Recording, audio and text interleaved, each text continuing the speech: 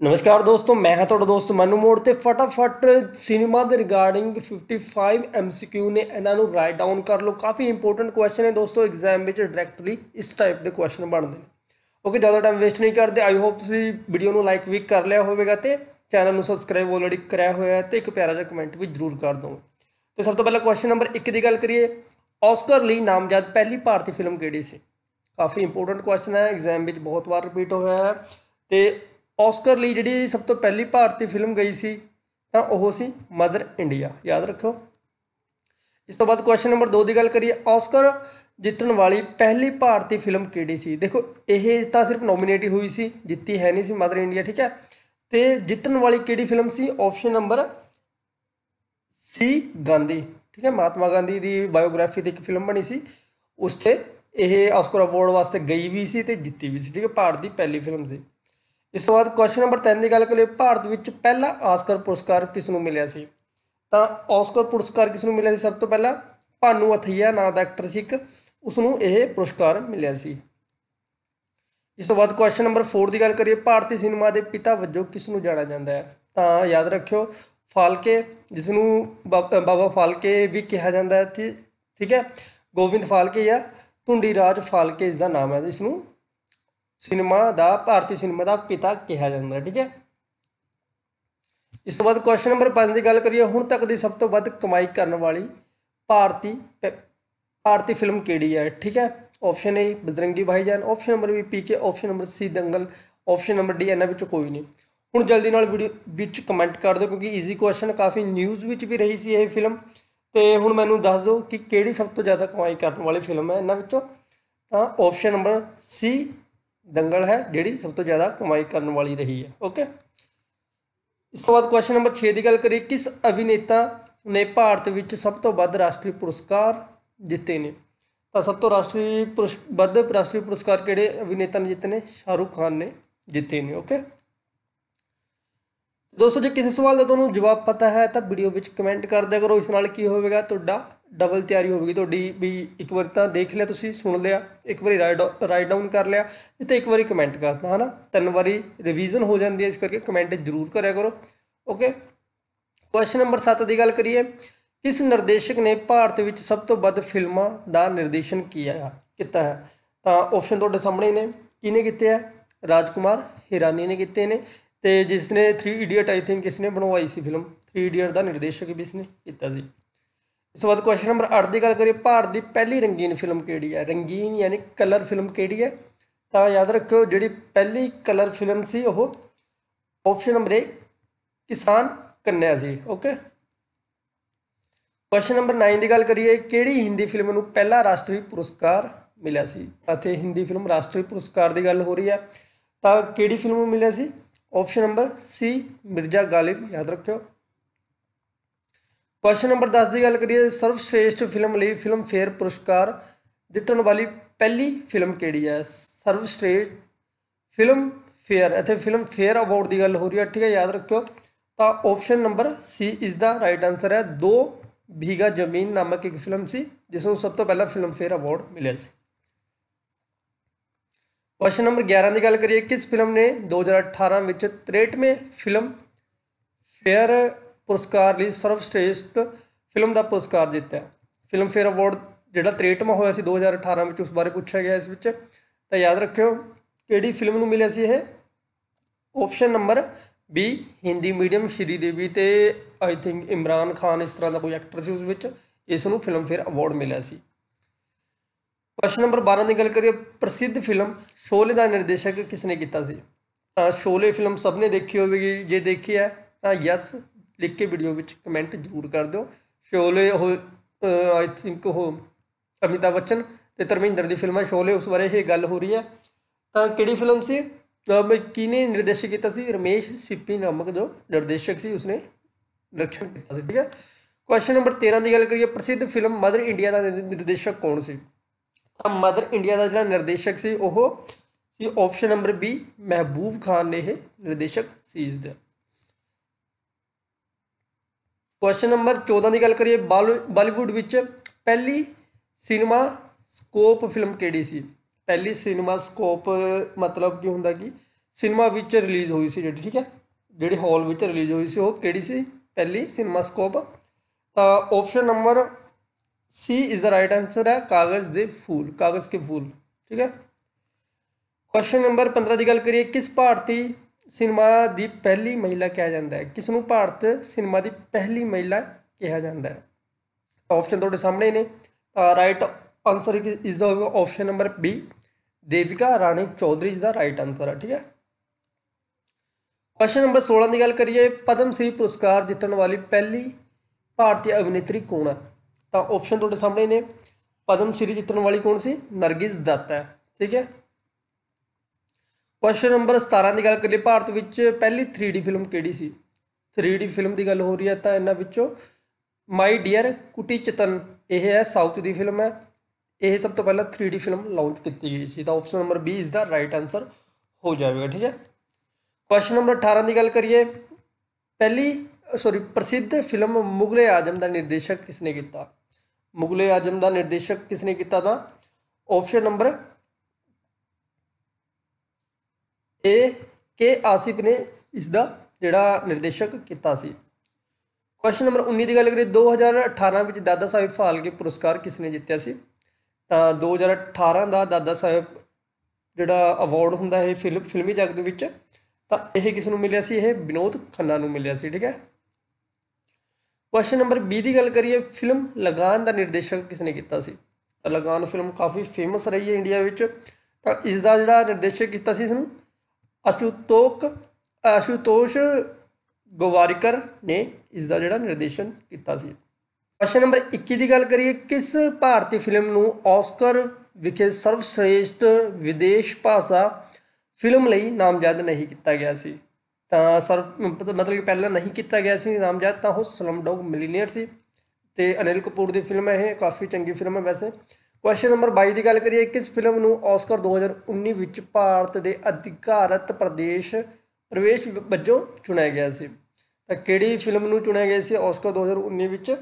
ਤਾਂ ਇਸ ਦਾ ਜਿਹੜਾ ਰਾਈਟ ਆਨਸਰ ਹੋਵੇਗਾ, ਉਹ option number C village rock rock star village rock star ਠੀਕ ਹੈ, ਇੱਥੇ ਥੋੜਾ ਬਲਰ ਹੋ ਰਹੀ ਹੈ ਪੀਡੀਐਫ ਕੋਈ ਗੱਲ ਨਹੀਂ ਬਟ ਮੈਂ ਤੁਹਾਨੂੰ ਜੋ ਵੀ ਤੁਹਾਨੂੰ ਬੋਲ ਰਿਹਾ, ਤੁਸੀਂ ਸੇਮ ਹੀ ਲਿਖਦੇ ਰਹੋ, ਠੀਕ ਹੈ। ਕੁਐਸਚਨ ਨੰਬਰ 23 ਦੀ ਗੱਲ ਕਰੀਏ, ਕਿਸ ਅਭਿਨੇਤਾ ਨੇ ਫਿਲਮ ਫੇਅਰ ਪੁਰਸਕਾਰ 2018 ਦਾ ਸਰਵਸ਼੍ਰੇਸ਼ਟ ਅਭਿਨੇਤਾ ਪੁਰਸਕਾਰ ਮਿਲਿਆ ਸੀ? ਤਾਂ 2018 ਦੀ ਗੱਲ ਹੋ ਰਹੀ ਹੈ, ਤੇ ਦੋਸਤੋ 2019 ਤੇ 2020 ਤੇ 21 ਇਸ ਸਾਰੇ ਸਾਰੇ ਮਤਲਬ ਕਿ ਜੋ ਵੀ ਸੀਮਾ ਜਗਤ ਦੇ ਕੁਐਸਚਨ ਨੇ, ਉਹ ਤੁਹਾਨੂੰ ਪੀਡੀਐਫ ਵਿੱਚ ਮਿਲ ਜਾਣਗੇ। ਪੀਡੀਐਫ ਤੁਸੀਂ 44 ਰੁਪਏ ਵਿੱਚ ਬਾਈ ਕਰ ਸਕਦੇ ਹੋ, ਜਿਸ ਵਿੱਚ 250 ਪਲੱਸ ਇੰਪੋਰਟੈਂਟ ਐਮਸੀਕਿਊ ਇਨਕਲੂਡ ਹੋਣਗੇ। ਜੇ ਤੁਸੀਂ 44 ਰੁਪਏ ਵਿੱਚ ਪੀਡੀਐਫ ਫਾਈਲ ਬਾਈ ਕਰਨਾ ਚਾਹੁੰਦੇ ਹੋ, ਇਸ ਸਿਲੇਬਸ ਇਸ ਟੌਪਿਕ ਦੇ ਰਿਗਾਰਡਿੰਗ ਤਾਂ ਇਹ ਮੇਰਾ ਇੰਸਟਾਗ੍ਰam ਆਈਡੀ ਨੰਬਰ ਹੈ, ਇਸ ਤੇ ਫੋਲੋ ਕਰ ਲਿਓ ਤੇ ਮੇਰੇ ਨਾਲ ਗੱਲ ਕਰ ਲਿਓ, ਪੂਰੀ ਜਾਣਕਾਰੀ ਲੈ ਲਿਓ, ਫਿਰ ਤੁਹਾਨੂੰ ਇਹ ਪੀਡੀਐਫ ਫਾਈਲ ਬਾਈ ਕਰਨ ਵਿੱਚ ਈਜ਼ੀ ਹੋ ਜਾਵੇਗੀ। ਤਾਂ ਕੁਐਸਚਨ ਨੰਬਰ 23 ਦਾ ਜਿਹੜਾ ਰਾਈਟ ਆਨਸਰ ਹੋਵੇਗਾ option number A Irfan Khan, ਜੋ ਹੁਣ ਡੈਥ ਹੋ ਚੁੱਕੀ ਹੈ ਇਹਨਾਂ ਦੀ। ਤੇ ਕੁਐਸਚਨ ਨੰਬਰ 24 ਦੀ ਗੱਲ ਕਰੀਏ ਏ ਆਰ ਰਹਿਮਾਨ ਨੂੰ ਆਸਕਰ ਲਈ ਕਿੰਨੀ ਵਾਰ ਨਾਮਜ਼ਦ ਕੀਤਾ ਗਿਆ ਸੀ? ਏ ਆਰ ਰਹਿਮਾਨ ਮਿਊਜ਼ੀਸ਼ੀਅਨ ਹੈ ਸਿੰਗਰ ਹੈ ਤੇ ਮਤਲਬ ਮਿਊਜ਼ਿਕ ਬਣਾਉਂਦੇ ਵੀ ਹੈ ਤੇ ਗਾਉਂਦਾ ਵੀ ਹੈ, ਠੀਕ ਹੈ?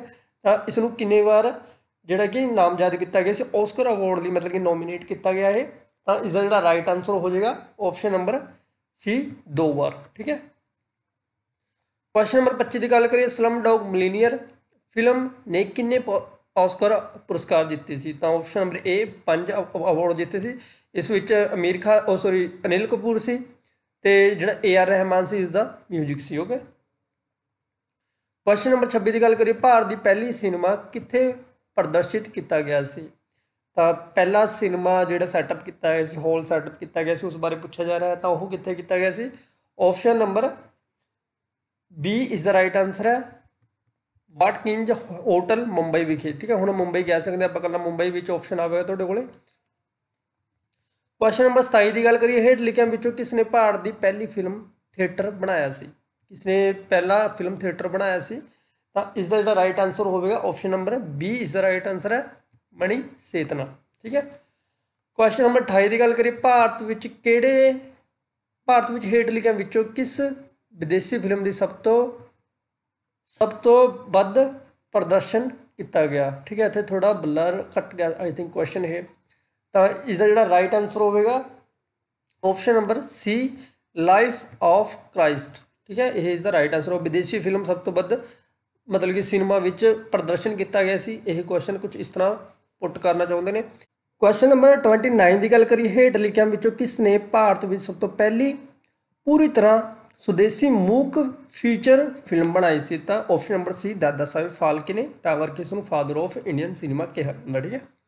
ਕੁਐਸਚਨ ਨੰਬਰ 30 ਦੀ ਗੱਲ ਕਰੀਏ ਹੇਠ ਲਿਖਿਆ ਵਿੱਚੋਂ, ਭਾਰਤੀ ਸਿਨੇਮਾ ਵਿੱਚ ਪਹਿਲੀ ਭਾਰਤੀ ਮਹਿਲਾ ਜਿਹੜਾ ਨਿਰਦੇਸ਼ਕ ਸੀ, ਉਹ ਕੌਣ ਸੀ? ਮਤਲਬ ਫੀਮੇਲ ਨਿਰਦੇਸ਼ਕ ਕੌਣ ਸੀ, ਠੀਕ ਹੈ।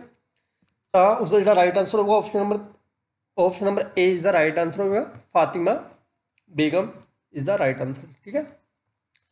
ਕੁਐਸਚਨ ਨੰਬਰ 31 ਦੀ ਗੱਲ ਕਰੀ ਭਾਰਤ ਦੀ ਪਹਿਲੀ ਬੋਲਣ ਵਾਲੀ ਫਿਲਮ ਕਿਹੜੀ ਸੀ? ਮਤਲਬ ਕਿ ਜਿਸ ਵਿੱਚ ਆਵਾਜ਼ ਸੀ, ਜਿਸ ਵਿੱਚ 뮤직 ਸੀ, ਆਪਾਂ ਸੁਣ ਸਕਦੇ ਸੀ ਨਾ ਡਾਇਲੌਗ ਸੁਣ ਸਕਦੇ ਸੀ, ਉਸ ਫਿਲਮ ਬਾਰੇ ਪੁੱਛਿਆ ਗਿਆ ਹੈ। ਤਾਂ ਜਿਹੜੀ ਭਾਰਤ ਦੀ ਪਹਿਲੀ ਬੋਲਣ ਵਾਲੀ, ਯਾਨੀ ਫਿਲਮ ਸੀ ਉਹ option number A Alam Ara C. Question number 32 ਦੀ ਗੱਲ ਕਰੀਏ ਹੇਠ ਵਿੱਚੋਂ ਕਿਸ ਨੂੰ ਭਾਰਤੀ ਸਿਨੇਮਾ ਦਾ ਸਿਨੇਮਾ ਦਾ ਪਿਤਾ ਕਿਹਾ ਜਾਂਦਾ ਹੈ? ਤਾਂ ਗੋਬਿੰਦ ਫਾਲਕੇ ਧੁੰਦੀਰਾਜ ਗੋਬਿੰਦ ਫਾਲਕੇ ਜਾਂ ਦਾਦਾ ਸਾਹਿਬ ਫਾਲਕੇ ਸੇਮ ਹੀ ਨਾਮ ਹੈ, ਠੀਕ ਹੈ? ਤੇ ਇੱਕੋ ਨਾਮ ਹੈ ਕਨਫਿਊਜ਼ ਨਾ ਹੋਇਓ, ਇਹ ਇੱਕੋ ਹੀ ਇਨਸਾਨ ਹੈ। ਐਗਜ਼ਾਮ ਵਿੱਚ ਕੋਈ ਵੀ ਤੁਹਾਡੇ ਤੋਂ ਪੁੱਛਿਆ ਜਾ ਸਕਦਾ ਹੈ, ਧੁੰਦੀਰਾਜ ਗੋਬਿੰਦ ਫਾਲਕੇ ਜਾਂ ਦਾਦਾ ਸਾਹਿਬ ਫਾਲਕੇ। ਦੋਨਾਂ, ਦੋ ਦੋ ਹੀ, ਦੋ ਨਾਮ ਨੇ ਇੱਕ ਬੰਦੇ ਦੇ, ਠੀਕ ਹੈ?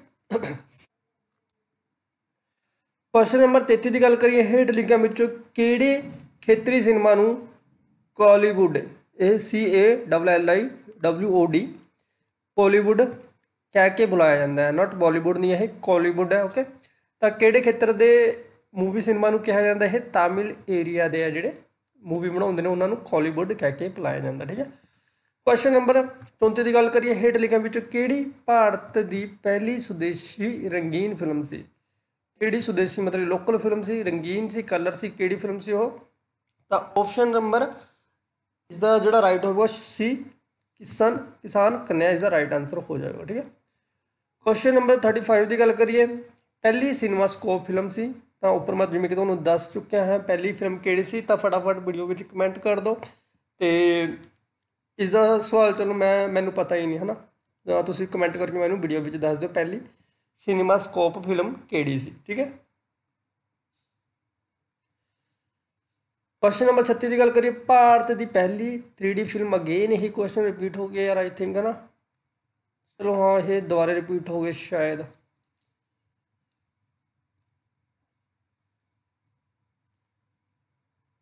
ਚਲੋ ਆਪਾਂ ਸਟਾਰਟ ਕਿੱਥੋਂ ਕਰਦੇ ਹਾਂ? ਹੁਣ ਕੁਐਸਚਨ ਨੰਬਰ 39 ਤੋਂ ਕਰ ਲੈਂਦੇ ਹਾਂ। ਭਾਰਤੀ ਫਿਲਮ ਅਤੇ ਟੈਲੀਵਿਜ਼ਨ ਸੰਸਥਾਨ ਕਿੱਥੇ ਹੈ? ਮਤਲਬ ਕਿ ਜਿਹੜਾ ਵੀ ਜਾਰੀ ਕਰਦਾ ਮਤਲਬ ਕਿ ਹਨਾ ਟੀਵੀ ਤੇ ਆਪਾਂ ਫਿਲਮਾਂ ਦੇਖਦੇ ਆ ਜਾਂ ਵੀ ਇੱਕ ਏਜੰਸੀ ਹੁੰਦੀ ਹੈ, ਉਸ ਬਾਰੇ ਪੁੱਛਿਆ ਗਿਆ ਮੇਨ ਹੈੱਡਕੁਆਟਰ ਕਿੱਥੇ ਹੈ ਇਹਨਾਂ ਦਾ? ਤਾਂ option number A Delhi option number B Bengaluru option number C Pune option number D Chennai. ਤਾਂ ਇਸ ਦਾ ਜਿਹੜਾ ਰਾਈਟ ਆਨਸਰ ਹੋਊਗਾ option number C Pune, Mumbai ਯਾਨੀ ਮਹਾਰਾਸ਼ਟਰ ਵਿੱਚ ਇਸ ਦਾ ਮੇਨ ਸੰਸਥਾਨ ਹੈ। ਕੁਐਸਚਨ ਨੰਬਰ 40 ਦੀ ਗੱਲ ਕਰੀਏ, ਭਾਰਤ ਦੀ ਪਹਿਲੀ ਵਿਰਤਾਂਤਕ ਫੀਚਰ ਫਿਲਮ ਕਿਹੜੀ ਹੈ? ਵਿਰਤਾਂਤਕ ਦਾ ਮੀਨਿੰਗ ਮੈਨੂੰ ਵੀ ਨਹੀਂ ਸਮਝ ਆਇਆ ਯਾਰ। ਜੇ ਤੁਹਾਨੂੰ ਪਤਾ ਹੈ ਤਾਂ ਵੀਡੀਓ ਵਿੱਚ ਕਮੈਂਟ ਕਰ ਦਿਓ ਇਸ ਦਾ ਮਤਲਬ ਕੀ ਹੁੰਦਾ ਹੈ। ਤਾਂ ਇਸ ਦਾ ਰਾਈਟ ਆਨਸਰ ਜਿਹੜਾ ਹੋਵੇਗਾ ਆਪਸ਼ਨ ਨੰਬਰ ਏ ਪੁੰਡਾਲੀਕ ਨਾਮਕ ਕੋਈ ਮੂਵੀ ਸੀ ਫੀਚਰ ਮੂਵੀ ਸੀ। ਜਿਸ ਨੂੰ ਪਹਿਲੀ ਫਿਲਮ ਦਾ ਦਰਜਾ ਮਿਲਿਆ। ਕੁਐਸਚਨ ਨੰਬਰ 41 ਦੀ ਗੱਲ ਕਰੀਏ, ਭਾਰਤ ਦੀ ਪਹਿਲੀ 골ਡਨ ਜੁਬਲੀ ਫਿਲਮ ਕਿਹੜੀ ਸੀ? ਭਾਰਤ ਦੀ ਪਹਿਲੀ 골ਡਨ ਜੁਬਲੀ ਫਿਲਮ ਸੀ ਸੰਤ ਤੁਕਾਰਾਮ। ਕੁਐਸਚਨ ਨੰਬਰ 42 ਦੀ ਗੱਲ ਕਰੀਏ, ਪਹਿਲੀ ਸੰਸਕ੍ਰਿਤੀ ਫਿਲਮ ਕਿਹੜੀ ਸੀ? ਸੰਸਕ੍ਰਿਤ ਫਿਲਮ ਕਿਹੜੀ ਸੀ? ਕੁਐਸਚਨ ਨੰਬਰ 42 ਕੀ ਕਹਿੰਦਾ? ਪਹਿਲੀ ਸੰਸਕ੍ਰਿਤ ਫਿਲਮ ਕਿਹੜੀ ਸੀ? ਤਾਂ ਇਸ ਦਾ ਜਿਹੜਾ ਰਾਈਟ ਆਨਸਰ ਹੋਗਾ ਆਪਸ਼ਨ ਨੰਬਰ ਏ ਸ਼ੰਕਰਚਾਰੀਆ। ਠੀਕ ਹੈ? ਕੁਐਸਚਨ ਨੰਬਰ 43 ਦੀ ਗੱਲ ਕਰੀਏ, ਭਾਰਤ ਦੀ ਪਹਿਲੀ ਟੈਲੀ ਫਿਲਮ ਕਿਹੜੀ ਸੀ? ਭਾਰਤ ਦੀ telefilm C option number A Sadgati film C telefilm ਸੀ। ਕੁਐਸਚਨ ਨੰਬਰ 44 ਦੀ ਗੱਲ ਕਰੀ ਭਾਰਤ ਦੀ ਪਹਿਲੀ ਲੜੀਵਾਰ ਐਨੀਮੇਸ਼ਨ ਫਿਲਮ ਕਿਹੜੀ ਸੀ? ਐਨੀਮੇਸ਼ਨ ਫਿਲਮ ਕਾਫੀ ਵਾਰ ਐਗਜ਼ਾਮ ਵਿੱਚ ਇਹ ਰਿਪੀਟ ਹੁੰਦਾ ਕੁਐਸਚਨ ਤਾਂ ਯਾਦ ਰੱਖੋ ਜਿਹੜੀ ਐਨੀਮੇਸ਼ਨ ਫਿਲਮ ਸੀ ਐਨੀਮੇਸ਼ਨ ਫੀਚਰ ਫਿਲਮ ਵੀ ਕਹਿ ਸਕਦੇ ਹਨ ਤਾਂ ਆਪਸ਼ਨ ਨੰਬਰ ਬੀ ਗਾਇਬ ਆਇਆ ਨਾਮਕ ਇੱਕ ਮੂਵੀ ਸੀ। ਕੁਐਸਚਨ ਨੰਬਰ 45 ਦੀ ਗੱਲ ਕਰੀਏ, ਭਾਰਤ ਦੀ ਪਹਿਲੀ ਫਿਲਮ ਆਸਕਰ ਲਈ ਪੇਸ਼ ਕੀਤੀ ਗਈ ਸੀ। ਤਾਂ ਸਭ ਤੋਂ ਪਹਿਲੀ ਫਿਲਮ ਜਿਹੜੀ ਗਈ ਸੀ ਆਸਕਰ ਲਈ ਮਦਰ ਇੰਡੀਆ ਸੀ, ਠੀਕ ਹੈ?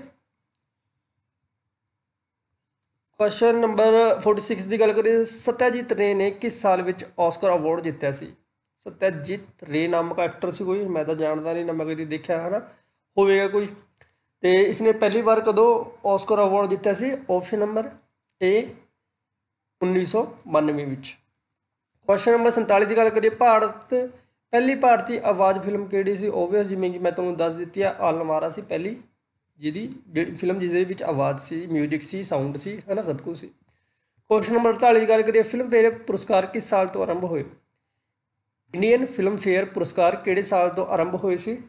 ਤਾਂ ਯਾਦ ਰੱਖਿਓ option number C is the right answer ਹੈ 1954 ਤੋਂ। ਕੁਐਸਚਨ ਨੰਬਰ 49 ਦੀ ਗੱਲ ਕਰੀਏ, ਕਿਸ ਸਾਲ ਤੋਂ ਭਾਰਤੀ ਸਰਕਾਰ ਨੇ ਰਾਸ਼ਟਰੀ ਫਿਲਮ ਪੁਰਸਕਾਰ ਆਯੋਜਿਤ ਮਤਲਬ ਕਿ ਜੋ ਅਨਾਉਂਸਮੈਂਟ ਹੋਈ ਸੀ, ਮਤਲਬ ਕਿ ਜਿਹੜੇ ਰਾਸ਼ਟਰੀ ਫਿਲਮ ਪੁਰਸਕਾਰ ਨੇ, ਉਹ ਕਿਹੜੇ ਸਾਲ ਤੋਂ ਆਰੰਭ ਹੋਏ ਸੀ? ਠੀਕ ਹੈ, ਤਾਂ ਇਸ ਦਾ ਯਾਦ ਰੱਖੋ ਆਪਸ਼ਨ ਨੰਬਰ 20 ਇਸ ਦਾ ਰਾਈਟ ਆਨਸਰ ਹੈ 1973 ਤੋਂ।